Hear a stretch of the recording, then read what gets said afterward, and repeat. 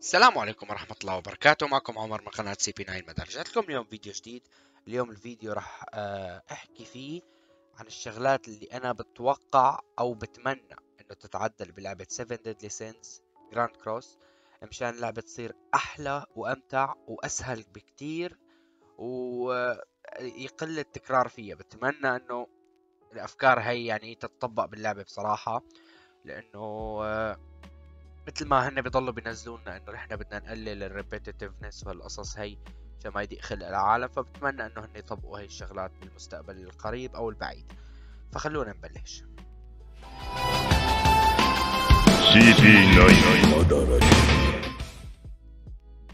طبعا أول شغلة أنا لما لما أفكر باللعبة أو لما أفكر باكثر الشغلات المزعجة. هلأ الحلو إنه معظم الشغلات اللي كانت مزعجة باللعبة سواء كانت بال gear upgrade بال re-roll بال hammers بالتطوير ال gear كل هالقصص كلياتها.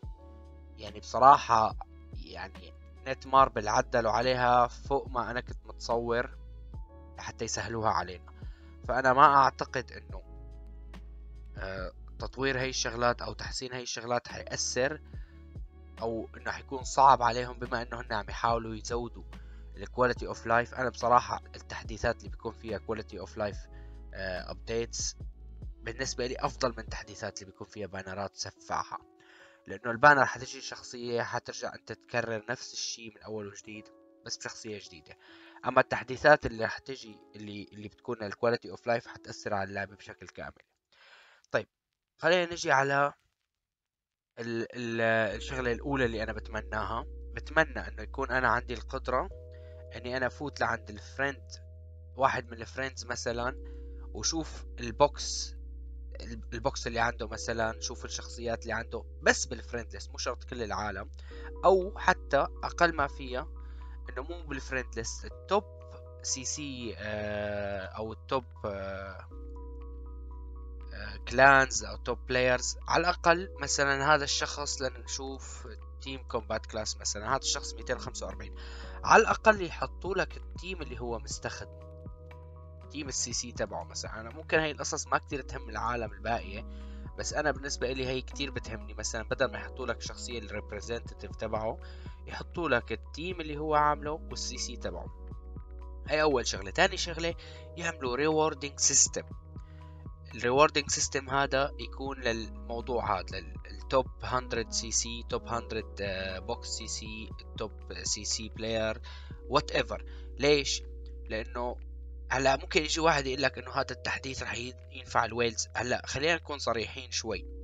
هلأ لنقول هذا مثلا اللي هو دكتور دوم مثلا. ال CC تبعه 245 و134 أعلى CC بال global هذا لو أخذ 30 gem ولا 40 gem هل هذا الشيء راح يفرق معه مثلا؟ ولا لو أخذ لنقول 1000 anvil و100 hammer هل هذا الشيء راح يفرق معه إنه والله اخ أنا بصراحة عوضتوا لي كل الآلاف اللي دفعتها على اللعبة بال100 anvil ولا لا؟ لا. هي هي جائزة رمزية بتعتبر بالنسبة لشخص مثل هذا الشخص وبتحفز الأشخاص الباقيين اللي ما بيشتغلوا على الموضوع هذا إنه يتعبوا عليه. أه هلأ أعتقد هاي الشغلة رح تتطبق بس بطريقة مختلفة. كيف عنا شغلة ال guild wars أول شي طبقوها على ال 30 top آه 32 top guild ورح يفتحوها للكل. أعتقد حيعملوا نفس الشي من ناحية ال CC إنه يصير في rewarding system لل CC و rewarding system لل box CC هاي الشغلة الأولى اللي أنا بتمنى إنه تطبق باللعبة مشان شو تكون مثل محفزة وتزود المنافسة باللعبة خارج ال PvP النقطة الثانية اللي هي ال character ranking system يعني مثلا لناخذ على سبيل المثال بما إن الشباب كتير بيحبوا لما لما ناخذ شخصيات مختلفة خلينا ناخذ على سبيل المثال ديان هي مثلا. آه يكون في شيء مثلا مثل هون أو يحطوها هون اللي هي character rank هي شو؟ هي مثل أنت بتعمل register أو بتعمل تسجيل. لل CC تبع الشخصية اللي أنت عندك إياها مثلا الماكس سي سي اللي أنت وصلته لهي الشخصية. وبناء على هذا الشيء بصير في مثل competition أو منافسة rewarding system whatever أعتقد آه، في لعبة Marvel Future Fights كمان ل Netmarble مطبقين هاي الشغلة طبقوها أعتقد بعد سنتين أو بعد سنتين ونص من ما بلشت اللعبة. وأنا كنت كتير كتير لاقيها هي شغلة جميلة. ليش؟ أول شي لما أنت تشوف ال ranking تبع ال character تبعك وتشوفه إنه منخفض كتير مع إنك أنت شغال على هاي الشخصية بتعرف إنه أنت في شغلات لسه مو مركز عليها. في شغلات أنت ناقصة عندك. على سبيل المثال مثلا لنقول إنه هي ديان تبعي أنا بعد ما سويت لها كل شيء وطورتها وعملت لها كل القصص كان ال rank تبعها ال 5000 على على اللعبة. هون طبعا بيحطوا لك بال ranking إنه ال top 1 قديش CC هي أول شيء بتفيدنا من ناحيتين. أول شيء إنك أنت بتعرف قديش ال maximum CC اللي ممكن توصل له هي الشخصية في حال كنت عم تبني team CC أو whatever تاني شيء تعرف شو الأغلاط اللي أنت عم تعملها بالشخصية تبعك مشان للسبب هذا إنه ال CC تبعك منخفض. ثالث شيء بتحفز الأشخاص اللي عندهم شخصيات مفضلة إنه يشتغلوا على هاي الشخصيات. يعني على سبيل المثال في ناس مثلا أنا كثير لاحظت إنه في ناس مثلا شخصيتهم المفضلة لنقول آه هاد جريامور أو شخصيته المفضلة مثلا هندريكسن أو هيلبرام أو whatever فأنت عندك القدرة إنه إذا أنا شخصيتي المفضلة هي إني أنا أطور هاي الشخصية لا تكون أقوى شخصية بال global مثلا ال character number 1 على ال global server كاملا. بهي القصة أنت أول شيء بتقدر إنك أنت مثل ما بيقولوا آه تعطي الشخصية المفضلة تبعك حقها وإنه تكون أنت مثلا متميز بشيء معين.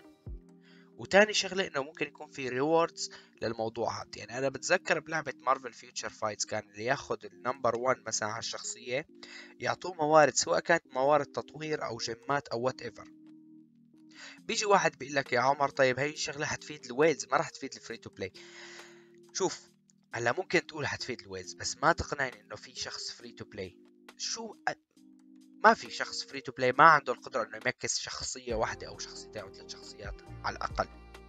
يعني قد ما كنت أنت free to play في ناس free to play عندهم Lostvayne 66 عندهم لبس عندهم لبسه الكامل عندهم max gear عليه بس إمتى بتفرق. لما تطلع على ال substat تبع الشخصية اللي انت مكسها نجي على سبيل المثال عندي ليز. أنا معتبر حالي إني أنا مكس ليز كل شيء. كله 15 لبس كله max وكل شيء. طيب بيجي واحد عنده إياها أعلى مني. ليش؟ لأنه ال basic stat تبعه هذا أعلى من هذا وهذا أعلى. والقصص الباقية هدول نفس الشيء كمان أعلى من اللي عندي.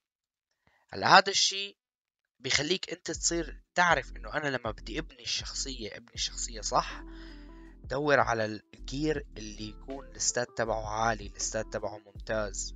مو إني أنا أبني شخصية حط لها 15 وبالاخير تلاقيها هي 2150 من أصل 2800 هاي الشغلات حتصير أنت كلاعب تركز عليهم لأنه بتكتشف إنه أنا مع التطوير اللي أنا طورته لشخصيتي لساتها في عندها نقص كتير كبير. هاي النقطة الثانية. هدول الشغلات اللي أنا ذكرتهم أول شيء هدول من ناحية ال competition وشغلات جديدة لتساوي حماس أكتر باللعبة نجي على الشغلة الثالثة اللي هي أنا بعتبرها من الشغلات اللي جدا جدا مزعجة باللعبة اللي هي شغلة ال gear مو شغلة تطوير ال gear لا شغلة حط ال gear يعني أنا عندي ال train لا ما فينا نقول training عندي ال PvP elite وعندي ثواني مشان ما يطلع الصوت تبع الديسكورد. آه عندي ال PvP elite وعندي ال guild boss وعندي team ال farm أكثر من مكان farm عندك team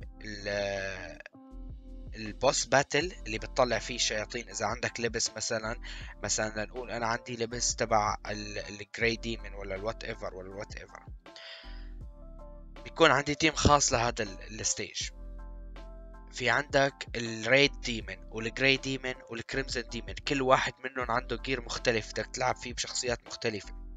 الوقت اللي انت بتضيعه باللعبة وانت عم تبدل gear من شخصية لشخصية من قصة لقصة ولا قصص هذا الشيء كتير كتير بصير بعد يعني مع الوقت بصير مزعج جدا و... و... وبشكل ملحوظ يعني. إنه مو انت والله مزعوج من الموضوع هذا. اللي ما بيلعب اللعبة كتير ممكن ما كتير يتضايق منه. بس أنا على سبيل المثال لما بدي ألعب شياطين بيجي بعمل invite لواحد بدي أقعد استناه دقيقة ولا دقيقتين بس لحتى يبدل قطع ال gear تبعه ويبدل القصص كلها. لو بيعملوا شغلة هاي الشغلة موجودة بلعبة Bleach Brave Souls صارت موجودة من جديد على فكرة. أنا الأفكار اللي أنا عم جيبها معظمها مطبقة بألعاب تانية يعني ما لها شغلة مستحيلة ولا رح تأثر كتير باللعبة.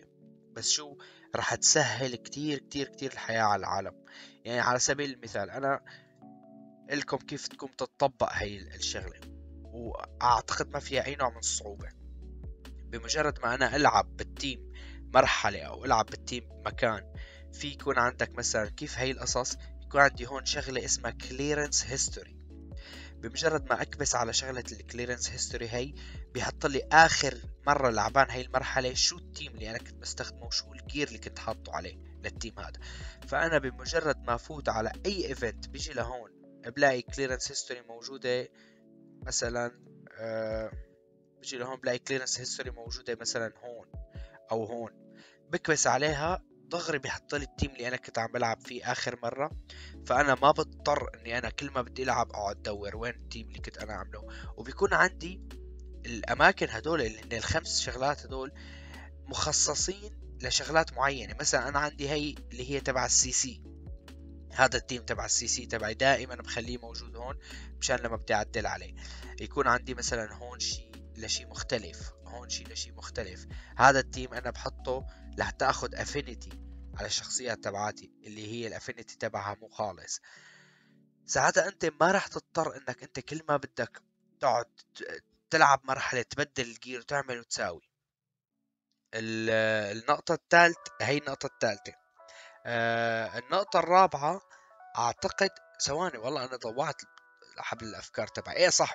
النقطة الرابعة اللي هي الشغلة اللي أنا كنت حاكي عليها قبل هيك وبتمنى إنه عن جد تطبق باللعبة اللي هي ال achievement system ال achievement reward system جدا رائع أول ما تبلش اللعبة. بس بعد ما تصير صار لك فترة طويلة عم تلعب باللعبة بتكتشف إنه أنت فعليا ما عم تخلص أي achievements يعني معظم ال achievements اللي موجودين باللعبة يا أما مستحيلين مثل هدول التنتين يا أما بدهم وقت مزعج جدا مثل مثلا أو هي كمان مستحيلة. أو بدهم وقت كتير مثل تبعات ال PvP أو تبع ال open village chest مثلا أو شو في كمان؟ في شغلات هن هدول تنتين مبدئيا مستحيل يخلصوا. آه في عنا تبع ال friends مستحيل هي ثلاثة. وفي وحدة أعتقد لا أنا هي ليش مو مخلصة. في اللي هن مثل ما قلت لكم الأطوال تبعات ال PvP وفي كمان اللي هن تبعات ال SP dungeon هذول اللي هن لعب 1200 مرة enhancement whatever طيب هلأ السؤال. ما بيقدروا يعملوا مثلا يضيفوا عند ال miscellaneous أو يضيفوا عند ال challenges آه مثلا achieve مثلا 5000 مرة آه farm هاي ال stage ولا لعبان هاي المرحلة ألف مرة ولا farm ال demon خمسة آلاف مرة ولا جايب عشرة آلاف red demon horns ولا هيك هيك هيك في مليار achievement ممكن يضيفوه ومو شرط كل ال rewards تكون هيك عشرين ألف gold و bullshit نفس هاي القصص. بيقدروا يغيروا بال rewards اللي هون يحطوا مثلا لما خلص مثلا عشرة عشرة red demon باخد عشرة horn ال reward لما خلص عشرة crimson باخذ عشرة ears خلص عشرة gray باخذ عشرة wings هيك على سبيل المثال ال rewarding system بيتغير sorry ال challenging ال achievement system يتغير. مو شرط يغيروا اللي تحت اللي هي هاي ال achievement point لأنه هي جدا أنا بعتبرها جميلة خاصة إذا أنت كنت لسه مبلش جديد باللعبة حتلاقي إنك عم تاخذ جمات كتير بدون ما تلاحظ. هي كمان نقطة. في نقطة آه هي النقطة الرابعة. أنا أعتقد عندي خمس أو ست نقاط ممكن أنا إذا بتت... يعني إذا بلاقيها بتتغير باللعبة كتير كتير راح تعمل فرق رائع. في نقطة آه خامسة اللي هي الستوري. إذا بتلاحظوا أنتوا كان أول آه ما بلشنا باللعبة لما ما كان في كل هال chapterات كنت أنت كل ما تخلص chapter تكتشف إنه في موارد جديدة عندك القدرة إنك ت farmها بسبب إنك خلصت ال chapter أو بسبب إنك خلصت ال story ليش ما يعدلوا على ال على ال story ومثلا بعد chapter ستة بما إني ما عاد أقدر farm موارد يكون في شغلات جديدة تقدر تفرمها بالشابترات اللي بعدها. مثلا تفتح عندك شغلات جديدة تت farm. مش تكون بكميات كبيرة لا بس على الأقل على الأقل شغلة يعني هلأ أنا مثلا أحيانا بفكر إنه أنا أعتبر إني أنا full time streamer أو full time YouTuber أو whatever وأنا ال focus تبعي الكامل هو على القناة أو focus كامل على لعبة 7 Deadly Sins طيب أنا إذا خلصت البوسات الستة لعبت الشياطين الستة تبعاتي ولعبت ستة مع مع واحد عم بعمل أنا وياه تريد خلصت الجيوم تبع البي في بي كلها خلصت الديليز كلياتهم وكله تمام. هذا كله بيخلص تقريبا ساعة ونص أو ساعتين ماكسيموم أنا بعد الساعتين هدول شو ممكن أعمل باللعبة؟ شو في كونتنت أنا فيني فرمها بشكل مستمر أو طور فيها بشكل مستمر أو أشتغل عليها بشكل مستمر؟ ما في ولا شيء موجود حاليا باللعبة. ال final boss بصراحة آه بعد أول يومين بتحس إنه صار خلص repetitive آه وأنت عم ترجع تعيد نفس الشيء فأنت بتصير بدك. على فكرة هلا ما اشتريت اللبس تمام آه بتصير أنت الشيء الوحيد اللي بدك تعمله هو إنك أنت تفوت ت farm ال points تشتري اللبس والسلام عليكم. غير هيك ما في أي داعي أو أي فايدة لل final boss يعني حلوة شغل الشغلة اللي ضافوها على ال final boss اللي هي مثل ال score reward هي بس أنا مو شايف إنه هي كافية مشان تخلي الناس عم يلعبوا باللعبة. بصراحة أنا هي هي بعتبرها واحدة من الشغلات اللي فعلا مسببة معضلة باللعبة. وكمان في شغلة في شغلة آه بصراحة يعني جاء على بالي تتعدل باللعبة اللي هي شغلة ال شو كان اسمه؟ ال engraving تبع ال gear خاصة لما أنت تكون مثلا يعني هلأ هن عدلوا على تبع ال cooking. لما أنت تجي مثلا بدك تطبخ طبخة كنت لما تعمل هيك تعمل cook ياخدك عند الطبخ وترجع تحط المعطيات من أول وجديد. هلأ بمجرد ما تح... ما تحط cook وتروح لعنده هو لحاله بيحط المعطيات وبيعمل نفس الشيء. طب ليش ما يعملوا نفس الحركة على موضوع ال gear؟ بمجرد ما أنا أعمل هيك أعمل engraving هو تلقائيا يروح عند مارلين يحدد قطع ال gear اللي أنا كنت بدي أعمل عليها engraving ويقول لي خلص بس engrave ليش لازم لما أروح لعند مارلين أرجع أعيد القصة كلها وأحط الشخصية اللي أنا بدي إياها وأرجع أعيد من أول وجديد؟ تضويع وقت على الفاضي تماما. هي شغلة. وفي شغلة ما أعتقد ما أعتقد بالخطايا يعملوها لأنه ممكن تسبب لهم ضرر. مع إنه أنا أتمنى إنه يعملوه طبعا شغلة ال Hawk calculation هي مدري شو. لازم يعملوا عليها تعديل لأنه بصراحة ما بعرف شو فكرتها يعني. باليوم باخد مئة ألف gold على الفاضي. لازم يغيروا منها هي يعملوا لها أي فائدة تانية غير الفائدة اللي هي موجودة فيها. آه الشغلة اللي كنت أنا عم بحكي عليها والله نسيت شو كنت عم بحكي. في نقطة كتير مهمة كنت عم بحكي فيها ونسيتها. آه سلسلة أفكاري بسرعة بتضيع. والله نسيت شو كانت النقطة اللي كنت عم بحكي فيها. كان في نقطة كتير كتير مهمة بالنسبة لي عم بحكي فيها بس نسيتها. هلأ إيه صح. آه هي غيرها بس هي نقطة كمان كنت بدي أحكي عليها اللي هو ال training cave ال training cave أول ما اجى كان حلو. صراحة أول ما اجى كان جدا جميل و game mode جديد. وانت عم تعمل فيه رواق و... وعلى فكرة بياخد بيعطي 10 hammer guarantee مو 15 أنا كنت عم بفتي. آه... رواق وبتحط ال team. وكل شيء حلو. بس بعد شهر شهرين ثلاثة أربعة خمسة ستة بلشت يعني إنه okay أنا كل خمسة أيام عم برجع اعيد نفس الشريط. ما عم بعمل أي شيء جديد. عم برجع أعمل نفس الشيء اللي أنا عم بعمله كل خمسة أيام. عم فوت بحط ال team أو أو صارت auto حتى يعني آه ال team اللي هو تبع ال PvE آه sorry تبع ال training cave معروف. أنا بحطه وكل شيء والسلام عليكم. وبخلصها كإجراء روتيني فقط ما فيها أي نوع من التفكير ولا أي نوع من من التعب حتى. بس إجراء روتيني.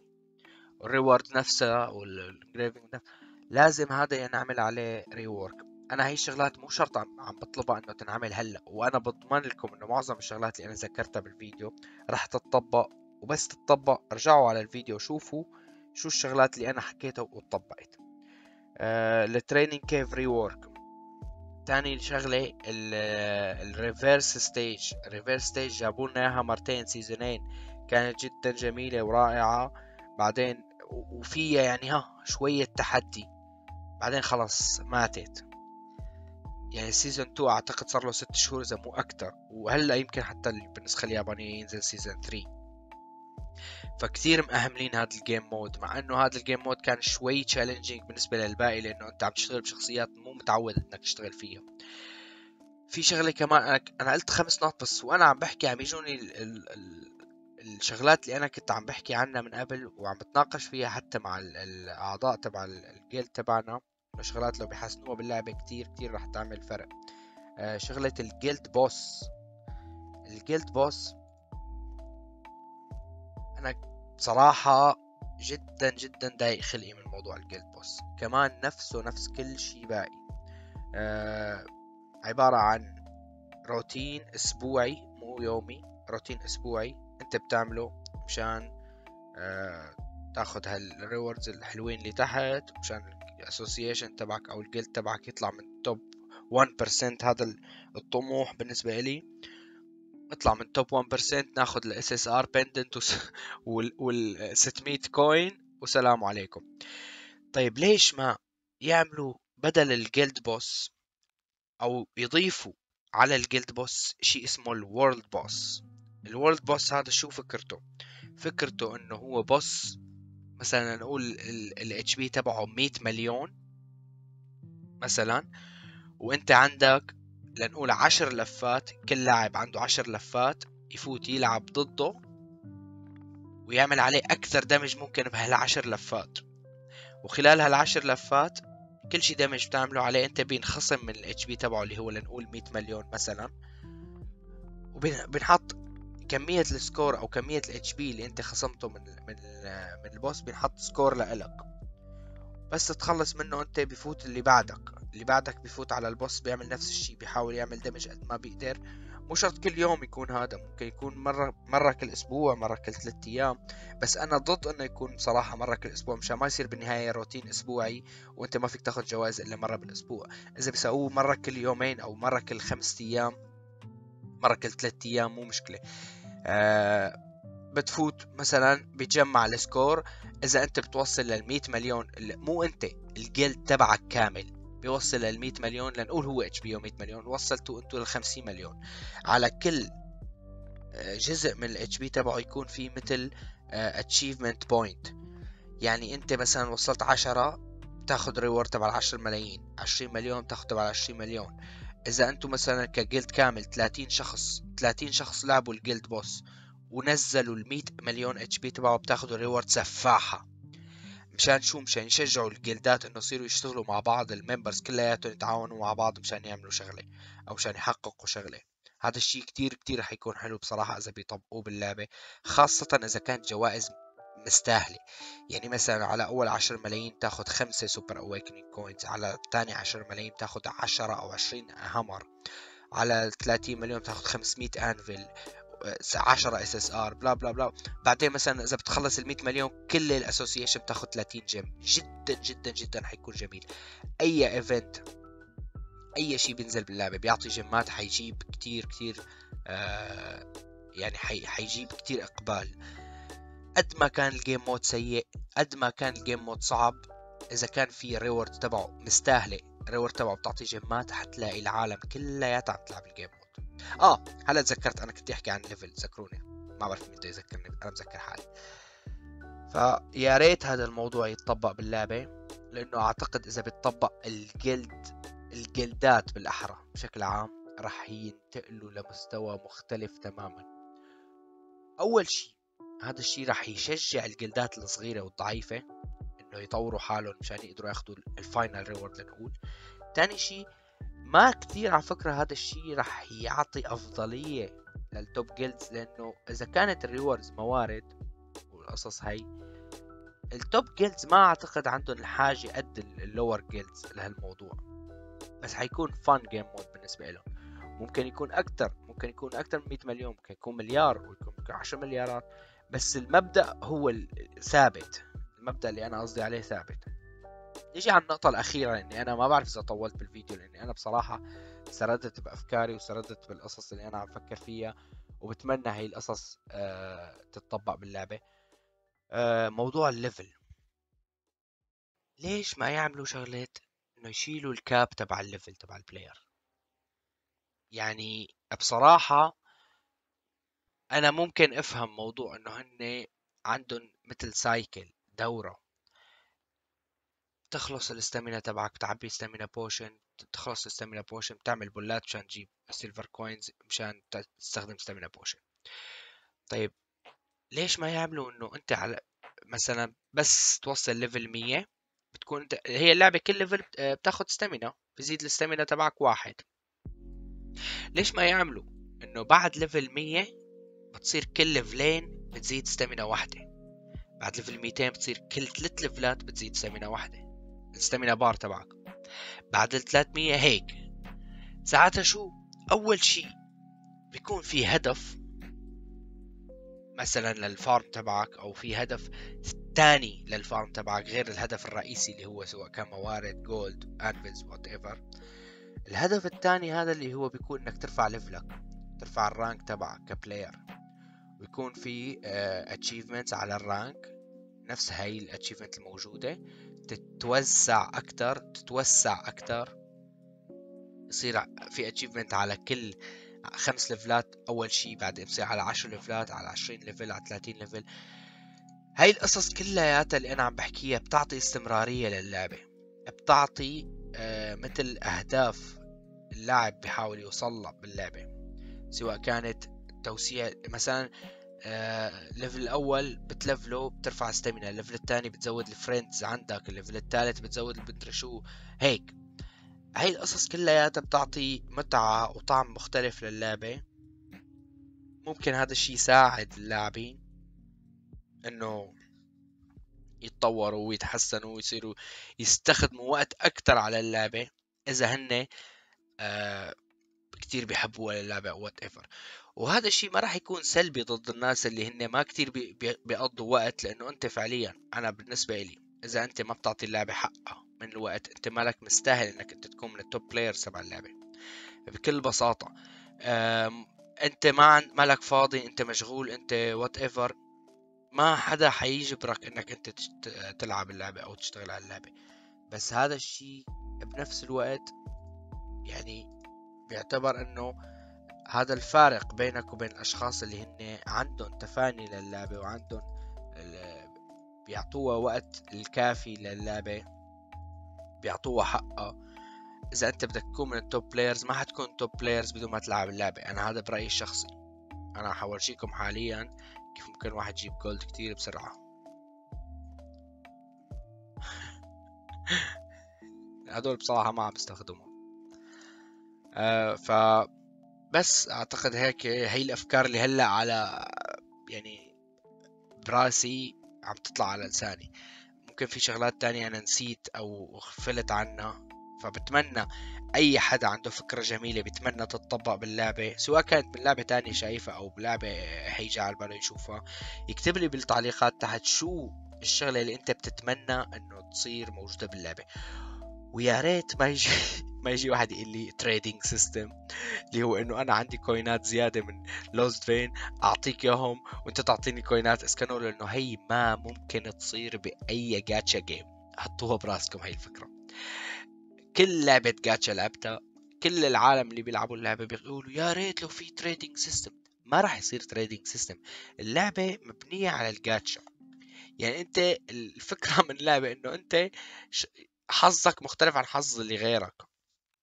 فما أتوقع يكون في trading بس أنا بصراحة مهتم إني أعرف شو الشغلات اللي أنتم بتتمنوا إنه تج... تلاقوها بلعبة الخطايا السبعة أه... تتطبق فيها للعبة وموجودة بألعاب تانية. أنا على فكرة أعتقد ديان الخضرة موجودة بهي ال banner. إذا طلعت لي GG. حلو. هاي تتذكروا لما ما كان عندي إياها 6 6 هلأ لما صارت عندي 6 6 صارت تطلع لي بالكيلو. آه فبس هذا هو الفيديو تبعنا تبع اليوم. أتمنى يكون الفيديو كان خفيف لطيف عليكم وأتمنى يكون عجبكم النوع نوعية الفيديو لأنه هذا مو من الفيديوهات اللي أنا كل يومين والتانية راح أنزلها لأنه نوعا ما special الفيديو. خطر ببالي أنا قاعد عم بحكي مع الشباب على الديسكورد خطر ببالي إني بصراحة أعمل الفيديو لأنه حسيته كتير يعني جذب جذب انتباهي واهتميت فيه. فيا ريت مثل ما قلت لكم تكتبوا لي بالتعليقات تحت شو الأفكار اللي بتتمنوا تطبق بلعبة الخطايا السبعة وشو الشغلات اللي بتتوقعوا تجي بالمستقبل وبتتمنوا تجي بالمستقبل آه طبعا إذا عجبكم الفيديو أنتم مو مشتركين معي بالقناة يا ريت تشتركوا. وإذا عجبكم الفيديو وصلتوا لهلأ يا ريت تضغطوا على زر ال like وال share. وأشوفكم على خير.